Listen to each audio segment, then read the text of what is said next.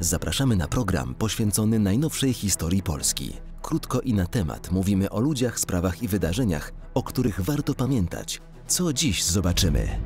Niech się święci 1 maja. Przedstawimy coroczny PRL-owski rytuał z flagami, balonikami i transparentami. Opowiemy o mieszkańcach Nowej Huty w założeniach wzorcowego miasta komunizmu walczących o krzyż. A na koniec pokażemy zawody sportowe, które w Polsce Ludowej każdego roku w maju stawały się tematem numer jeden. Zaczynamy od pochodów z flagami, balonikami i transparentami, czyli corocznego PRL-owskiego rytuału. Pierwszomajowe święto pracy obchodzono już w XIX wieku, także u nas w czasie zaborów i w okresie międzywojennym. W PRL zyskało jednak specjalny status. Stało się świętem państwowym, oczkiem w głowie władz. Podstawowym celem władz e, w propagowaniu święta e, pracy była legitymizacja.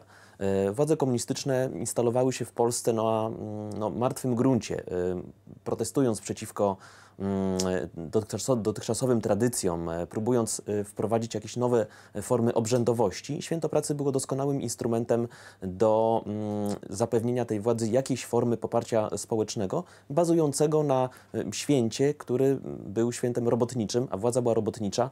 Tak więc tutaj nakładały się te dwie perspektywy i e, w tym znaczeniu święto pracy było dobrym instrumentem e, służącym e, zyskaniu tej władzy jakiejś formy prawomocności.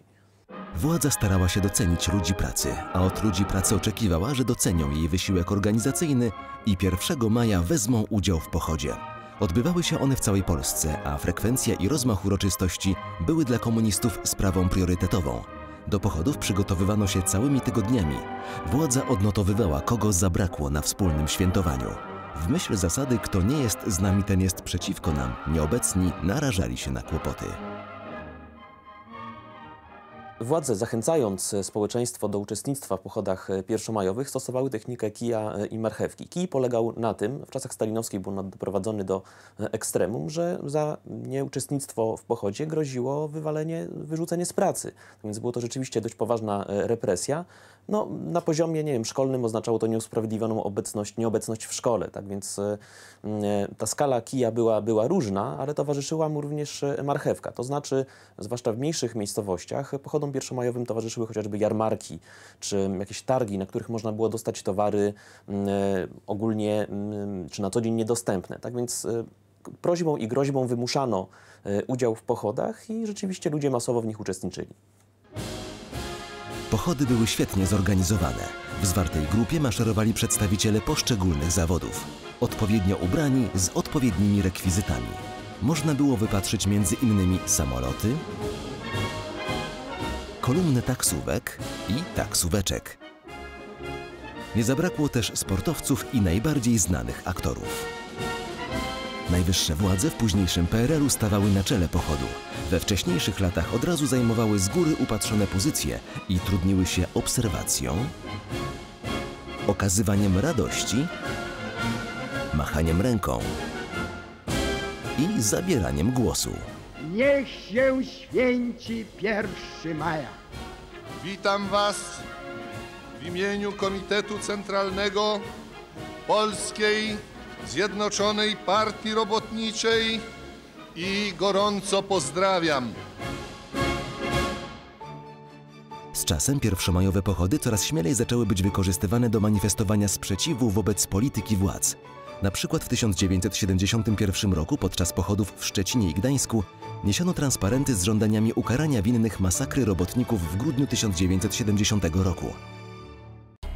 Podczas stanu wojennego w wielu miastach doszło do kontrpochodów z udziałem zwolenników Solidarności. Interweniowała milicja i ZOMO.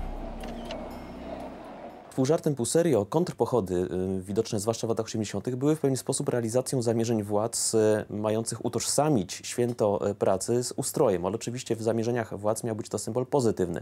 Natomiast dla dużej części społeczeństwa stał się on symbolem negatywnym, stał się symbolem tego zakłamania ustroju komunistycznego i w ten sposób wykorzystywano je do organizacji kontrpochodów. mm, zwłaszcza w okresie stanu wojennego, ale też w latach 80., kiedy rzeczywiście wykorzystywano używano e, te oficjalne defilady do zamanifestowania swojego sprzeciwu wobec e, praktyk e, władzy ekipy generała Jaruzelskiego. W ostatnich latach Polski Ludowej kontrpochody były coraz liczniejsze. 1 maja kojarzyć się zaczął z zamieszkami, a władzy coraz trudniej było mobilizować obywateli do udziału w oficjalnych obchodach. Po zmianie ustroju pochody w Dniu Święta Pracy przestały być u nas obowiązkowe i masowe. Dla większości Polaków 1 maja stał się po prostu pierwszym dniem długiego weekendu, dniem wolnym od pracy i obchodów Święta Pracy.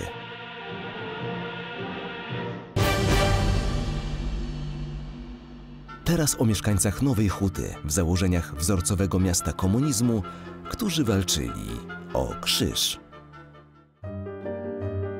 Podkrakowska Nowa Huta miała być miastem bez Boga, a więc i bez kościołów. Tak było w teorii, ale w praktyce mieszkańcy od początku chcieli mieć swoją świątynię. Po dojściu do władzy Władysława Gomułki nastąpiła krótka polityczna odwilż. Komuniści zgodzili się na kościół w Nowej Hucie, a potem wyznaczyli dokładną lokalizację u zbiegu ulic Majakowskiego i Marksa. W marcu 1957 roku został tam postawiony i poświęcony krzyż. Urządzane były przy nim procesje, a nawet msze święte. Władze szybko zmieniły jednak zdanie. Zaczęły wynajdywać biurokratyczne przeszkody, przeciągać decyzje budowlane, aż w końcu poinformowały, że w Nowej Hucie bardziej od kościoła potrzebna jest szkoła. 27 kwietnia 1960 roku rano na placu przy krzyżu pojawili się robotnicy, przyjechał spychacz. Budowlańcy zaczęli wykopywać krzyż. Zainterweniowali mieszkańcy, którzy to widzieli, głównie kobiety. Obrońców krzyża przybywało i siłą przepędzili robotników. Interweniowała milicja. Krzyż pozostał na swoim miejscu, ludzie składali pod nim kwiaty, śpiewali pieśni religijne. Po południu na plac budowy kościoła zaczęli się schodzić robotnicy nowochódzkich zakładów, którzy skończyli pracę na pierwszej zmianie. Tłum gęstniał. Część osób zebrała się pod dzielnicową Radą Narodową. Milicja próbowała rozpędzić zgromadzonych. Wieczorem w Nowej Hucie wyłączono prąd i rozpętała się bitwa. Do zamieszek dołączyli miejscowi chuligani, zdemolowali wystawy sklepowe, spalili między innymi kiosk ruchu i gazika milicyjnego. W ruch poszły kamienie. Milicja i ZOMO użyły gazu łzawiącego i broni palnej. Ponad 500 osób trafiło do aresztu. Oddziały milicji i ZOMO pobiły i przepędziły także stojące przy krzyżu kobiety. Nawet po wielu latach, wspominając co działo się w 1960 roku, nie ukrywały emocji. Świętej pamięci Helena Musiał, tu syn jej jest ze zdjęciem. Ona pierwsza skoczyła, ja za nią i chwyciłyśmy ten krzyż i zaczęłyśmy trzymać. Jedną z osób najbardziej zaangażowanych w budowę kościoła w Nowej Hucie był Karol Wojtyła, w 1960 roku młody krakowski biskup. W końcu doprowadził on do zbudowania pierwszej w dzielnicy świątyni. Po długich staraniach w 1977 roku konsekrował Arkę Pana kilkaset metrów od miejsca, w którym broniono krzyża. Dwa lata później Karol Wojtyła, już jako Jan Paweł II, przyjechał do Nowej Huty i wrócił do wydarzeń sprzed lat. z wami, z którymi połączyły mnie całe lata wspólnego budowania nowej huty na fundamencie krzyża.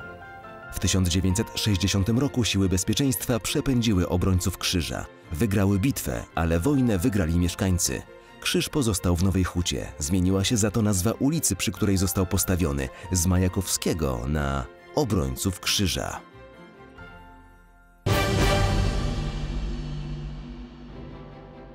Czwartego maja 1910 roku urodził się Jerzy Waldorf, jedna z barwniejszych postaci PRL. Krytyk muzyczny, pisarz, działacz społeczny. To on sprawił, że 1 listopada na cmentarzach znane osoby zbierają pieniądze na odnowę nagrobków. Zmarł w 1999 roku. Na koniec o zawodach sportowych, które w PRL-u każdego roku w maju stawały się tematem numer jeden. Od czasów Adama Małysza Polacy wiedzą, co oznacza lądowanie telemarkiem, wybicie i próg. Kiedyś zdecydowanie bardziej popularne były słowa prolog, peleton czy ucieczka. To kolarze byli absolutnymi gwiazdami. Pierwsze zawody ruszyły 1 maja 1948 roku. Na początku nie był to wyścig, tylko międzynarodowy bieg kolarski i odbywał się między dwiema stolicami Warszawą i Pragą. Od trzeciej edycji przyjął nazwę Wyścig Pokoju, a jako trzecie państwo gospodarz zawodów dołączyła NRD. Choć były to zawody kolarskie, zawodnicy musieli opanować jazdę po nawierzchni żużlowej, Polacy już opanowali tak zwaną metodę rozprowadzania na świetnie biegać, a wraz z kibicami podziwiać gigantów światowego komunizmu. Atmosfera wyścigu była wyjątkowa. Jeszcze musi mocno trzymać to tylko znakomicie i jest! W rywalizacji liczyły się cztery kraje: ZSRR, Polska, Czechosłowacja i NRD. W latach 70. królował Ryszard Szurkowski, czterokrotny zwycięzca imprezy.